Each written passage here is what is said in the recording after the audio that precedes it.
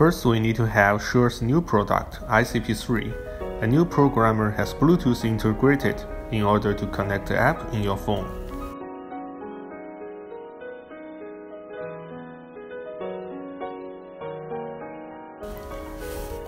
As you know, programmer need to be connected with DSP to realize the final functions. So we have two connection demo.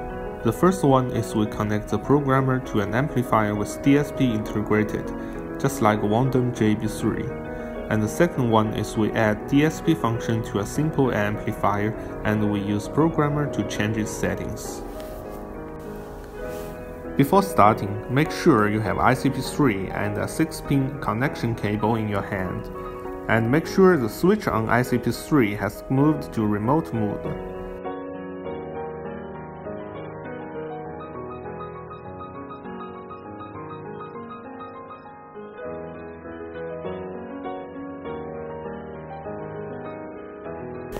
This is our audio system with Wondom JB3. We have two speakers as audio output, and we use a power adapter to power up the JB3.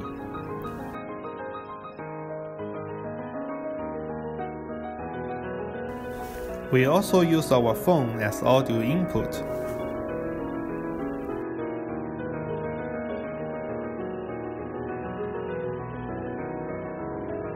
Then we use the 6-pin connection cable to connect ICP3 to JB3. Make sure the Bluetooth of phone is active.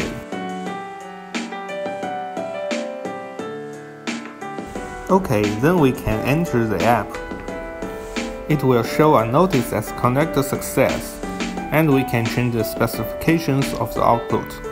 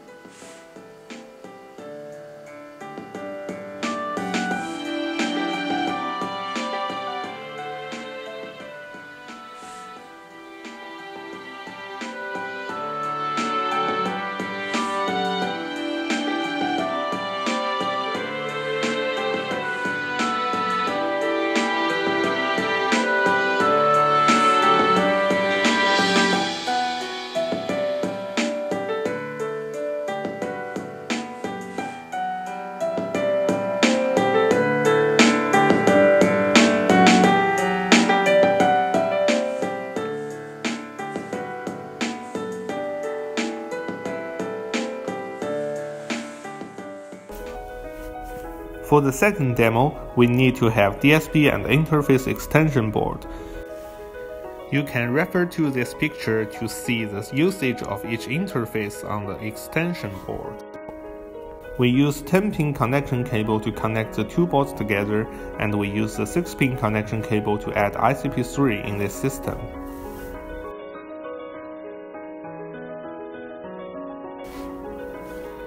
Now we will build an audio system with a simple amplifier.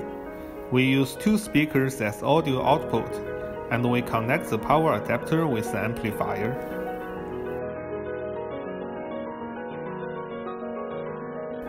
Then we connect our phone as audio source with the program system. We need to connect the phone to the input port of the extension kit. Then we connect the output port of the extension board to the input port of the simple amplifier.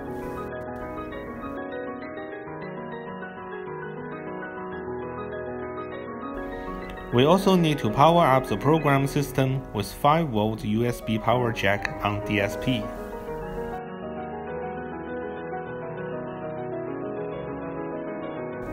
Then we power up the whole system and use app to change the settings.